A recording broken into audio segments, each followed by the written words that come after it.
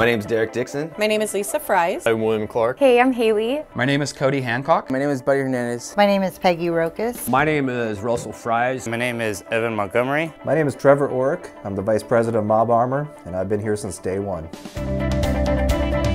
What makes Mob Armor great is the quality of the products. It's a reliable product that you can trust and count on. We can efficiently tackle any kind of obstacles that I'm come across in production because I can take them through the engineering department, who's just on the other side of the door for me. It makes my job so much easier. I'm very grateful that we're all together.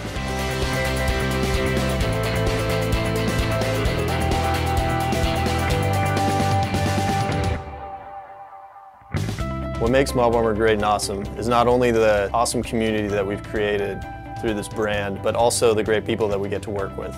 They're hardworking, they're passionate, and they're committed to seeing this brand and company grow. We are more than just a company. We are a family who all shares a similar passion for what we do. It's not just a job for us here at Mob Armor, it's a lifestyle. I work with a lot of great individuals, a lot of smart people here who really have the same desire. What's badass is that we are coming out with new stuff all the time. We're, you know, staying competitive. People know our names. They're starting to get to know our name, and it's making it really exciting to be here right now. It's a fun environment for everybody involved. It's just amazing the, the people we've been able to bring together, and everybody has a common goal of working hard or building great products, and also keeping our customers happy and keeping them excited about new products we bring to the table.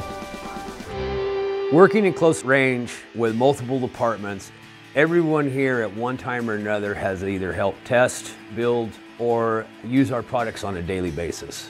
And with all of the input that we get, has always been able to get us to where we can develop a quality product to uh, bring to the consumer.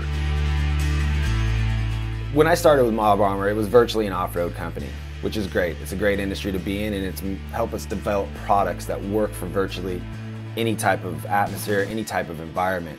The way I saw it is that we could do more. Um, I thought we could be more. I thought we could continue to make products that don't just work for one type of person, but work for people in every facet of life to help them do their daily jobs efficiently and, and to the best of their ability. As technology advances, tablets and smartphones are embedding themselves more and more into the infrastructure of our economies. It is because of this that I still see endless opportunities for Mob Armor to continue developing innovative solutions for these new markets and industries to come. To be innovative, you have to be agile. You need to be able to react to the marketplace, but also react to your customers. Uh, you have to always be two steps ahead of the marketplace, and, and the only way you can really do that is listen to your customers. They're the ones that help you really figure out what the next products are. We're lucky enough that uh, we're still the right size where we can respond quickly and design these products that are really leading edge essentially and still staying ahead, staying ahead of the curve.